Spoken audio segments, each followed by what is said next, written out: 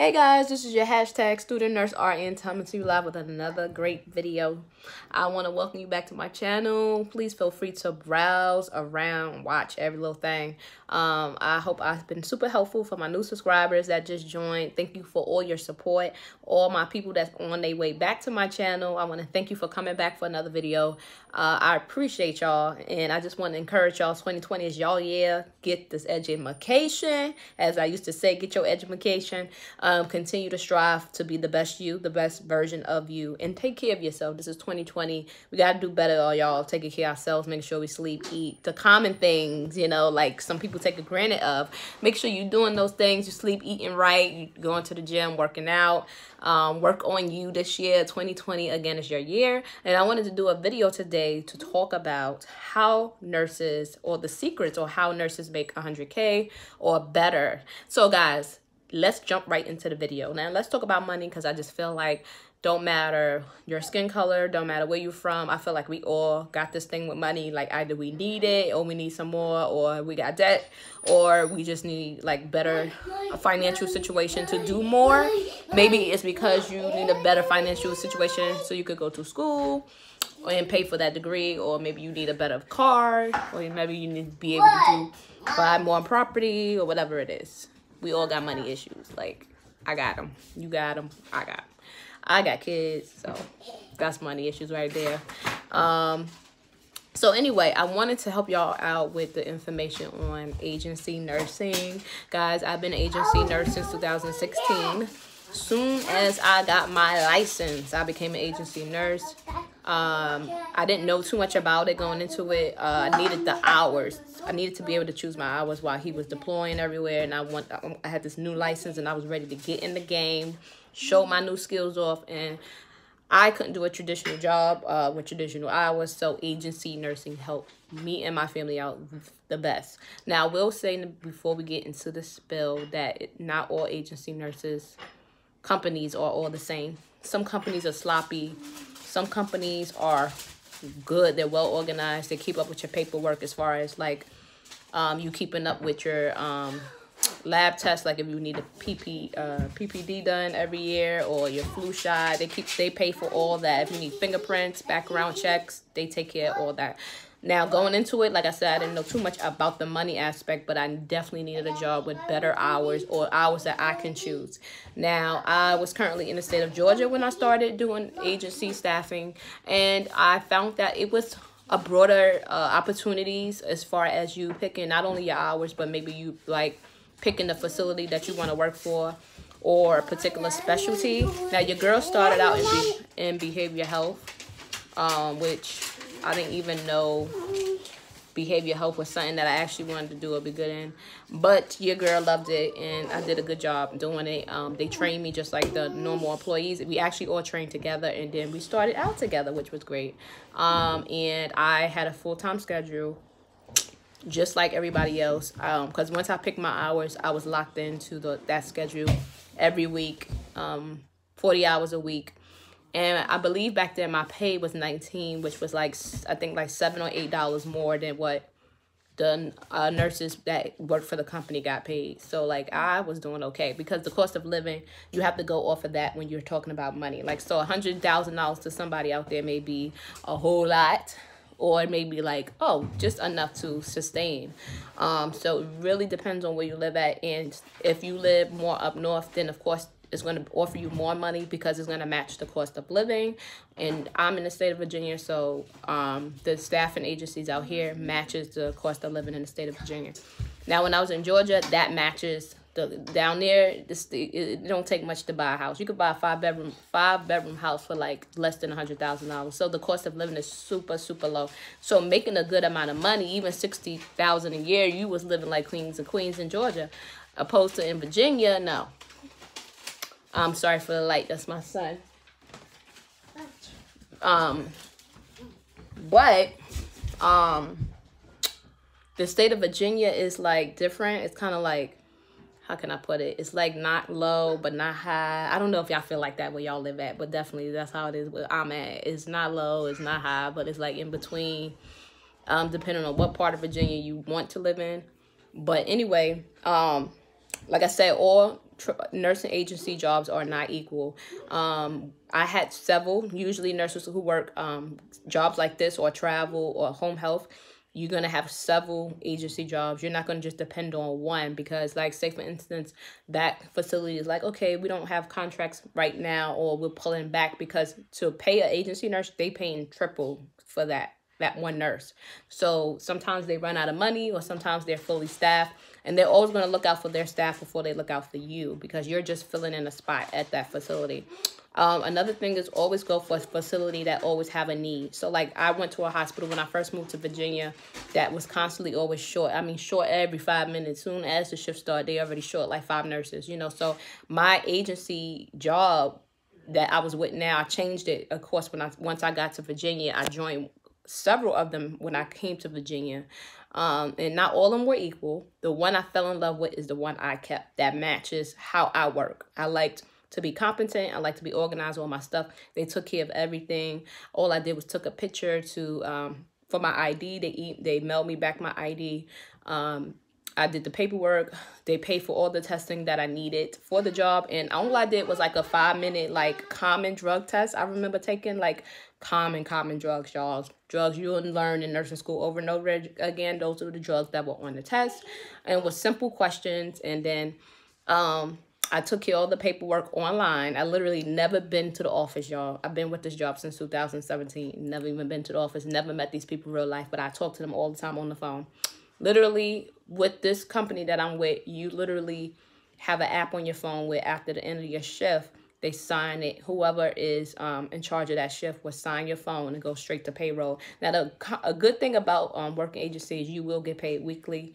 Um, you don't have benefits for the um this type of job, but you will get all your money. Like you will get, you know how you see your check and you're supposed to have like got like three grand, but then you wind up with two grand because they took out all these taxes and then all your insurances came out, like all your benefits came out. So you like when you see your travel check, you like,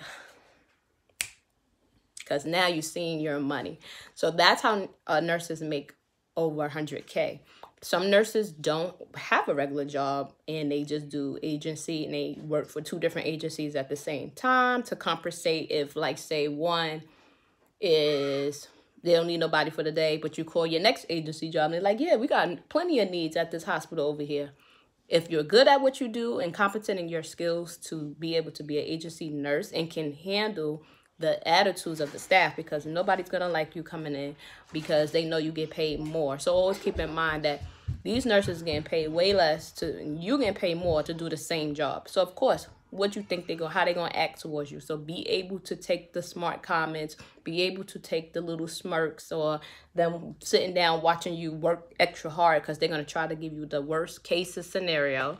They're gonna try to um you know make you feel like uncomfortable so you don't come back and make the money. Um they're not going to tell you everything about the unit, like where stuff is at. They may threaten that you may not have a CNA. And these agency um, companies know that that's how some of these uh, facilities are, like treating their nurses, that agency nurses that coming in.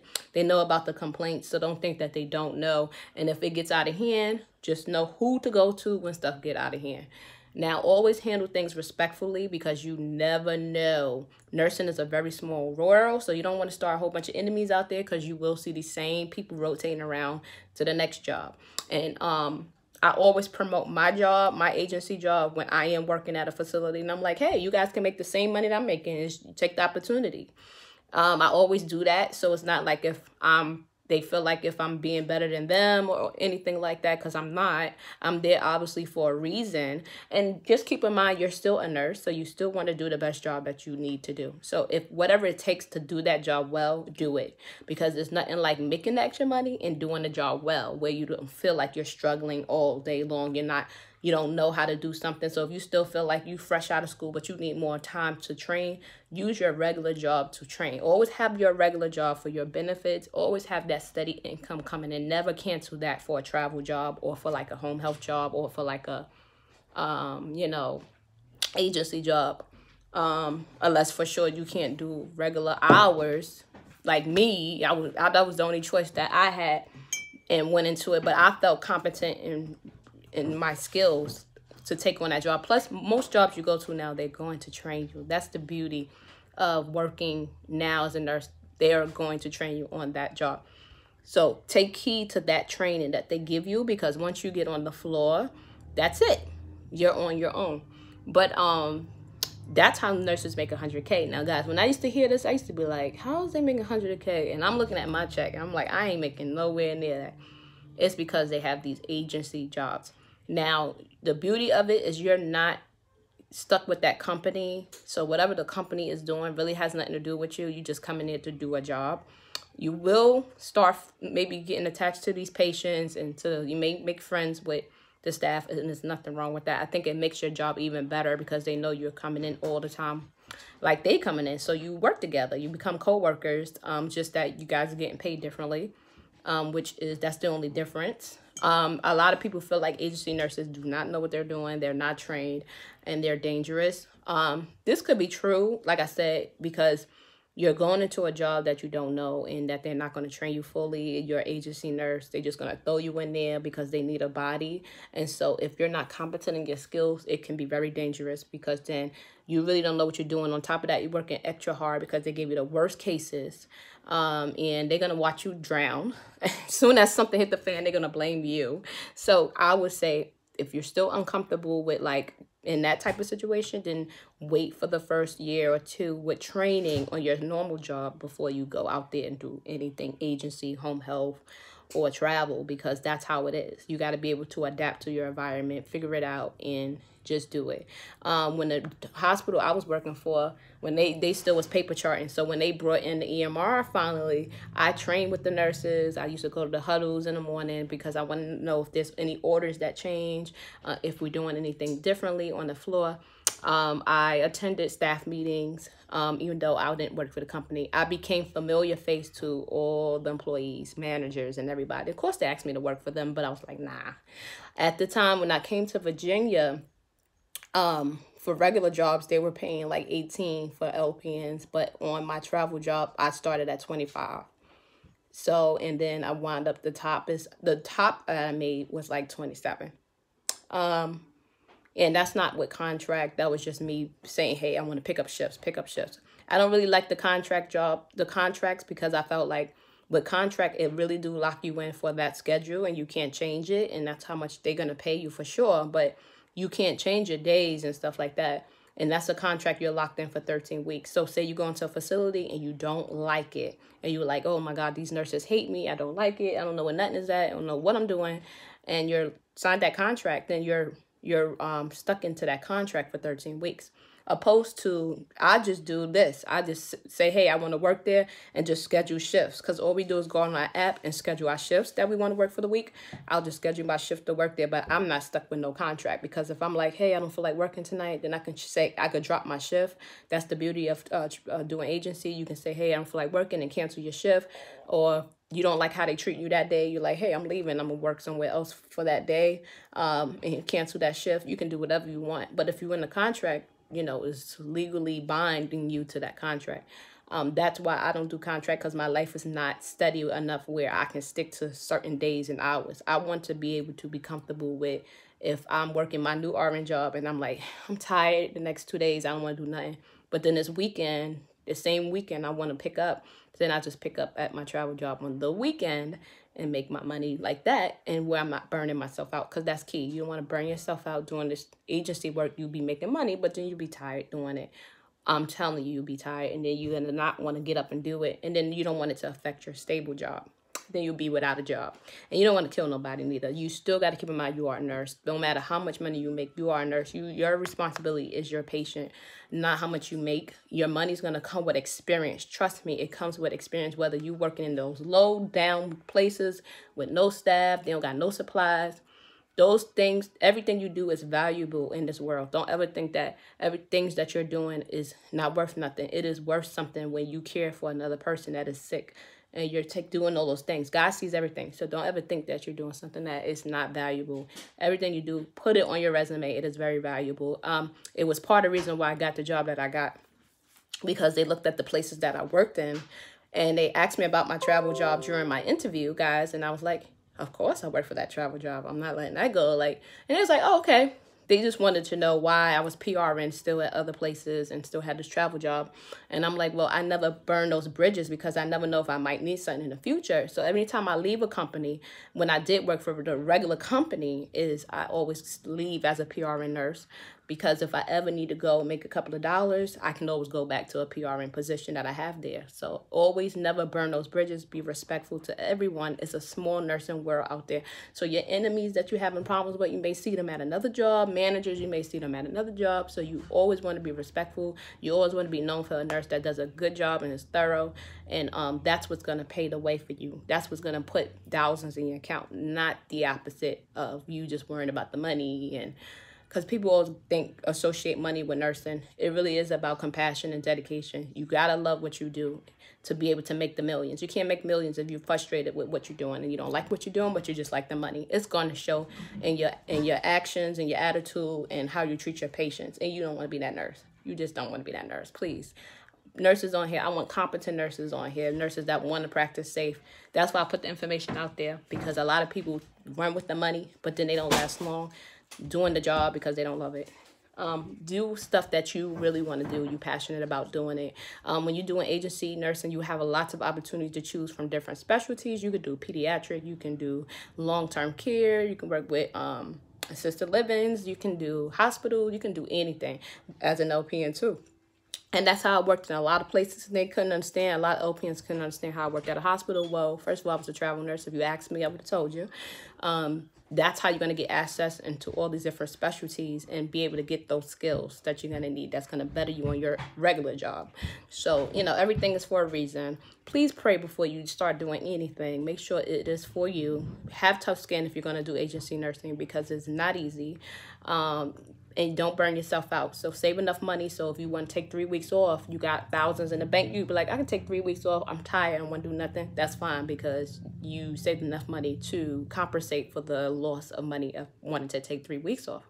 You understand what I'm saying? Have goals with your money because I feel like you start making all this money and you just buying, buying, buying stuff just to buy. Save your money, um, pay off your, your student loans, your student debt, pay your car off, buy a house, buy property, get a business, or invest in something. Take your money and invest because that's how you get millions. Not a closed mindset of I'm making these dollars and I'm just spending it, spending it, spending, going traveling and eating out all the time. It oh, sometimes that leads to unhealthy lifestyle because now you can afford to do everything you want to do and you was better off struggling because you was so humble. When you're struggling, you humbled and you know how to improvise and make make a dollar stretch and now you're getting all this money. You just like sometimes it can change you so you don't want to not be able to recognize yourself you know you don't want that to change you completely so set money set goals and make sure you're paying your tithes and offerings when you go to church uh, that's another thing for those who believe do the right thing and he's never going to bless you all this money and you not bless somebody else so make sure you're a blessing to somebody else um, but that's the secret of how nurses make 100k i hope this video was super helpful um, i am trying to think of everything to tell you um, that you may need to put in your little nursing backpack. So when you are out in the world and you're doing your thing, I hope this helps. Um, I'm not going to tell you nothing I haven't done. These exact things I have done. I've been an agency nurse since 2017. Not planning on leaving that type of job. Um, I love it. I'm thinking about even opening up my own um, because I love it so much. That's another story. But um, you guys have a blessed day. Stay humble. Um, make sure you pray. Take care of yourself. And you guys have a good day.